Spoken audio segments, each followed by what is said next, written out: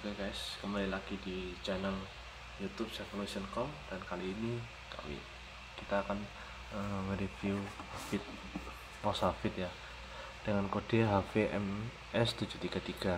Oke, ini penampakan depannya ya. Ini kita dari atas dulu.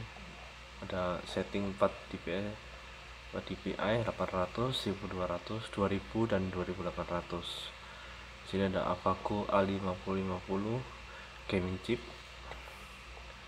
Uh, weight and balance turning with up.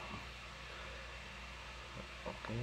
terus ini juga 4,2 beratnya jadi bisa sangat mudah dipakai ya guys. Terus ini ada tiga model Frit backlightnya lampunya. Jadi bisa berubah dari tiga, uh, jadi tiga jenis gitu. Uh, sensitivity-nya tinggi ya. Oke okay, jadi ini penampakannya ini bawahnya. Rapid Game Series Professional Gaming Mouse uh, Avago A5050 Professional Gaming Chip.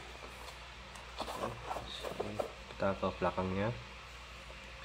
Ya, ini ada tiga fetching lightning setting 8000 dpi no lightning 1200 full lightning 2000 eh, dpi itu merah dan 2800 itu ungu. Oke ini speknya bisa dibaca. Size nya 126 kali 66 kali 38 resolusinya dpi nya itu 800 1200 2000 dan 2800 uh, secara defaultnya 1200 dan key numbernya ada 6 uh, eh, maximum acceleration Hg default rate nya 500 Hz ya.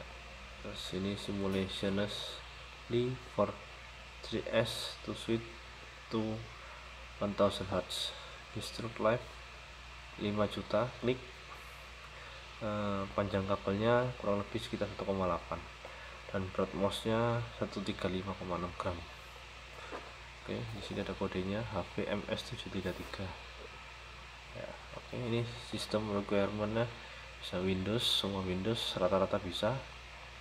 Mac sama Linux juga bisa Windows 10 juga yang terbaru juga bisa juga.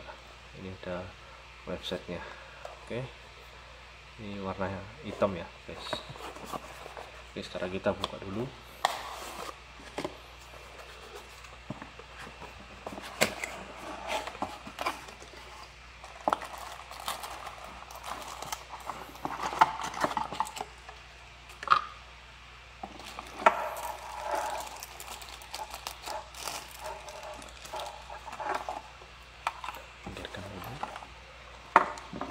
Oke, jadi ini ada kertasnya.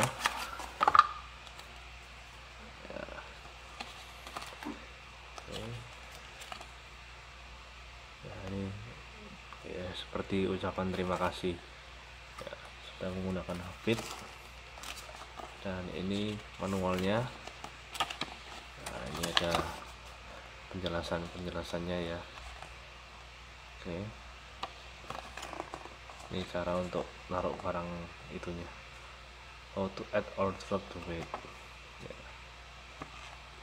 oke jadi bisa dibaca-baca.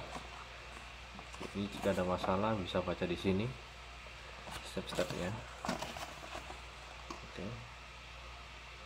Ya, ini speknya sensornya Avago A5050 size nya sudah. Resolusi number report rate stroke stereo rekaman sama kabelnya juga sudah dijelaskan tadi ya sebelumnya. Oke. Ya. ini sekarang kita ke mouse nya ini seperti ini penampakannya. Oke. Ini enggak ada apa-apanya ya. Cuma tombol kanan tombol kiri. Ini DPI settingnya ini sama tombol tengah ini bisa di scroll sama ini ada kiri sama kanan. Di sisi bagian kiri sama kanan. Ini untuk coloknya. Oke. Oke sekarang kita akan coba dulu colok jadi biar tahu ya fitting hackingnya seperti apa. Sebentar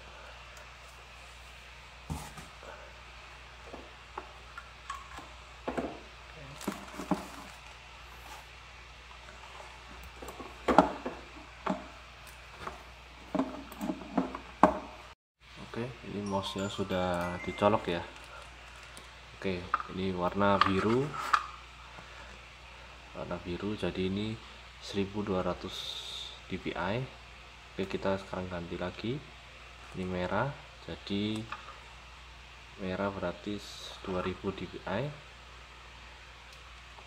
ungu 2800 ini tidak ada cahaya apa pun itu berarti 800 dpi oke.